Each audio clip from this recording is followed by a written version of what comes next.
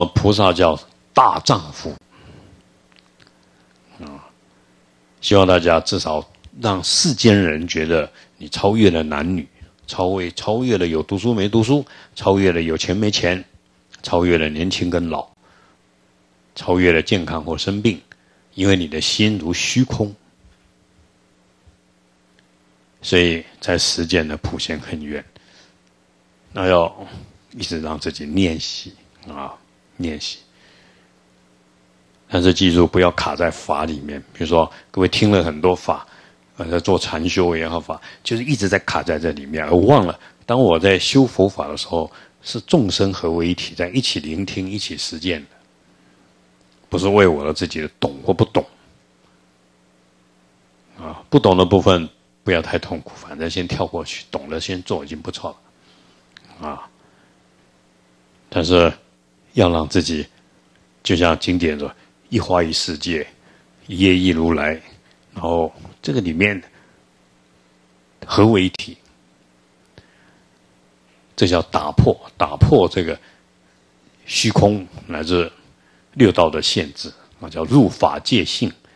你就当然十法界各有不一样的相，但是你已经入法界的本体，法界体性智，清净法身，譬如真那佛。啊，当然，这个境界我们每个人都要去观修，每一个佛他的境界是什么？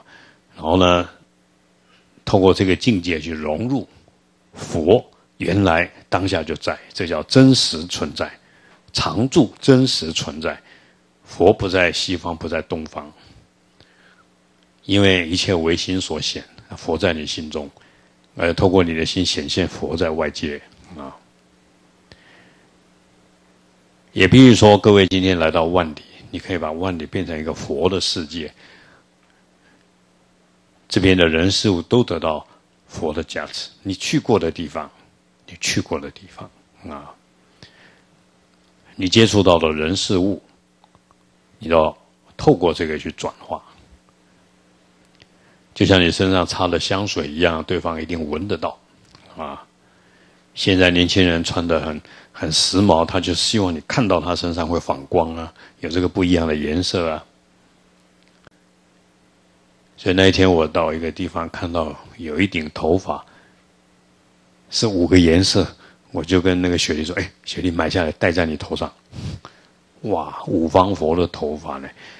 他说：“这样不是很奇怪？”不会，每个人都会看你，这个叫菩萨。你才解释给他听，为什么叫蓝色蓝光、黄色黄光。啊，他说好了，等一下我们去唱给老人听，我们才戴。啊，我说你唱给老人听，你就敢戴，就街上你都不敢戴。啊，所以因为老人嘛，我们就要扮演成很卡通，让他快乐嘛。他平常都不笑的，啊，但是所谓的菩萨，他就超越了，在任何时间他就扮演济公无所谓了。啊，只要。所以各位，我讲这一点，我们华人比较不好意思。佛法藏在心中，啊，放在佛堂里面，不愿意显现出来，啊。就像有时候我跟他们说：“来，你请你讲话，我帮你录影。” no，录影我就不讲啊，因为录影讲不下去，因为你还有卡到这个。所以在这边，当然各位要。一直了解自己，然后从这里面一直去为了利益众生，自求菩提。我有哪一些我执、法执各种的障碍习性，你要改变。那改变最好的方法呢？善知识他就是针对你的，你喜欢 A，他叫你 B。因为就像某人说：“师傅，我只喜欢读华严经。”我说这种话你不能讲啊！你这样一讲，你就你等于轻慢佛法。所有佛陀的教法，你都要喜欢，都很重要。其他只是我们现在没有因缘能够这么深入，我们有惭愧心啊！千万不要落入这个个人喜欢，好像麻醉用佛法麻醉自己。这个是你喜欢，又不是众生需要，重点在这边。所以，当然为了利益众生。像我们这个慈悲字也应该是比较比较国际化吧，啊，比较多元化吧，而且不是光度人呢，没人也无所谓呢，啊，六道众生那么多啊。但我发觉还有一个问题，很少人天天跟天神在讲话，阿修罗道在讲话。各位这个要练习，不要不要只修悲而忘了慈或喜，因为这个天神有福报，你要替他高兴，就要慈，让他快乐随喜，然后呢再进一步让他离苦。所以你要随喜天神的福报，也不断的跟他们在说法。那个说法是事实上。太简单了，你你你是个哑巴，但是天人要看的是你的心，又不是你的口才；鬼道要接触的是你的心，又不是你的口才。所以有些人冤亲债主为什么一直超度不了啊？虽然他外表做了很多善事福报，但是他那一颗心不能够让冤亲债主服气。最可怕就这个事情，所以他会一定让你病，让你苦。因为你的心态啊，连债主都不服你，所以因为人性上的有一些霸道，有一些强势，有一些傲慢，因为做事情的习气还表现在这个习气表现在做事情上，在佛教的那这个这些众生不会原谅你，他就打着你越精进，他越让你苦。就像我认识一个出家人。病得很厉害，腿也断了。那我也想，我也知道，因为他的个性我知道啊。虽然很认真在从事某一件事情，但是另外一方面呢，却脾气很不好，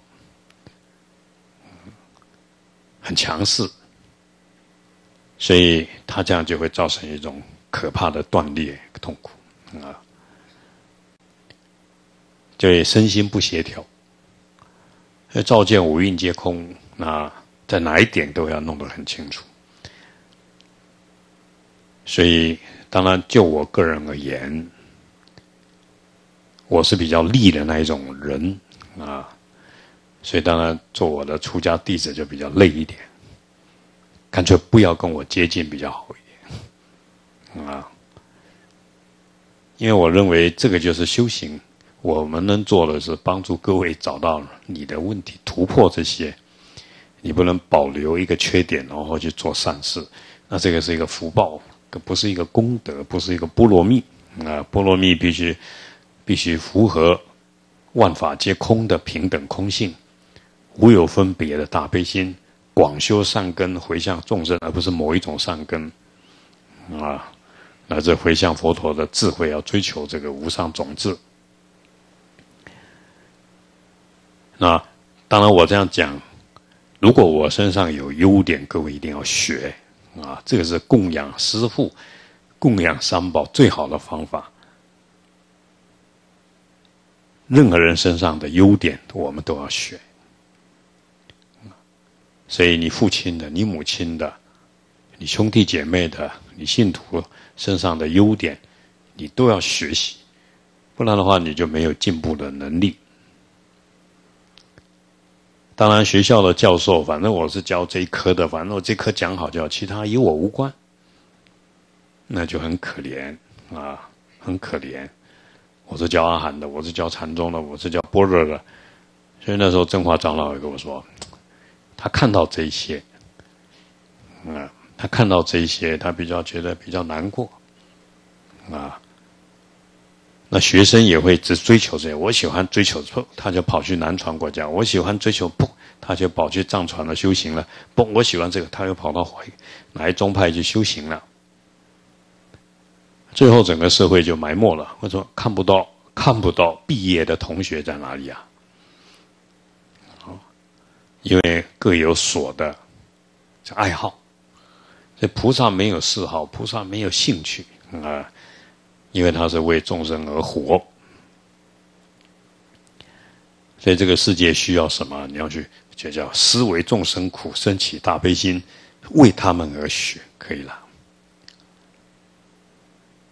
就像同样，我坐在这边，老实说，各位每个都要有这样子的，你要知道对方需要什么，你要给予什么，不是你想要讲什么，你想要表达什么，一切都是善巧方便，给你花，给你糖果，给你水，都是要引导你走到那个方向，对你有帮助的方向。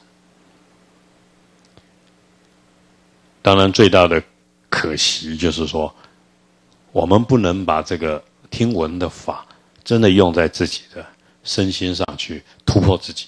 突破障碍，突破自己就突破我执法执，不然你看不到那个点啊，看不到佛性。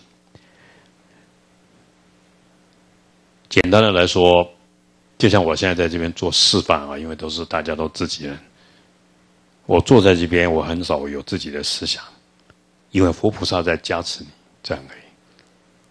你要把自己全然的放下，进入。佛菩萨进入法界，然后呢，让它自然流露。这是如虚长老要求我叫自信流露。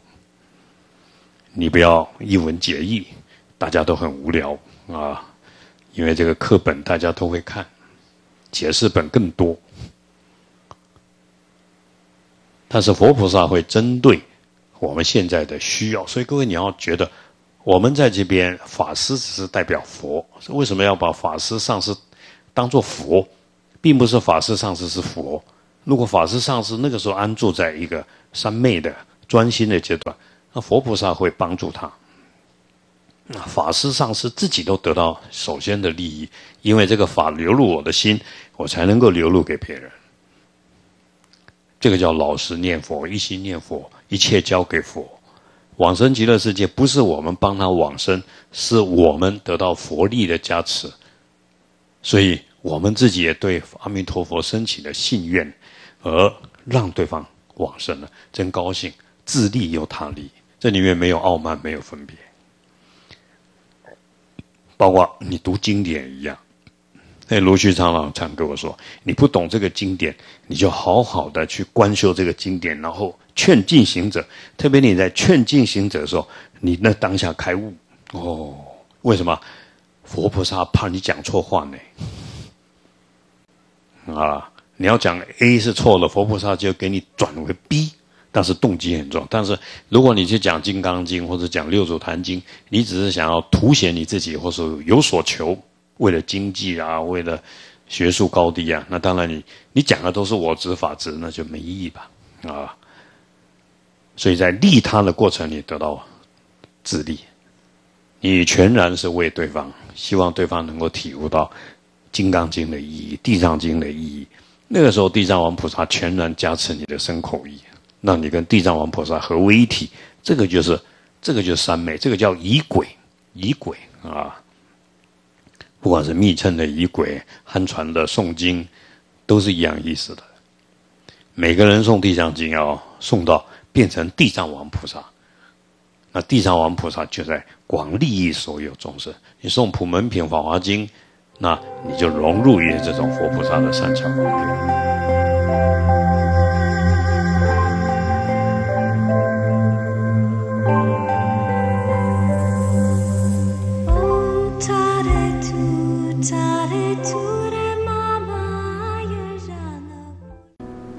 生命的力量来自于爱，慈悲的奉献就近帮助众生离苦得乐。所以，生命电视台带着大家吃素、放生、施食、救苦救难，到处去利益众生。愿大家多护持生命电视台，让佛陀的智慧，让佛陀的大悲心充满这个世间。护持账号：一九九六五二三二，一九九六五二三二，户名：生命文化基金会。救命的鱼群，在海洋里，总有许多鱼集结成庞大鱼群，集体来行动。这样做既能节省个别体力，也能抵御大型鱼类的进攻。海洋中，潜水服麦克手拿水底摄影机，拍摄着海洋里的景色。这时候，一大群的鱼群从他前方不远处游过。真是太壮观了！在水下真的能看到这么多的鱼群吗？当然了，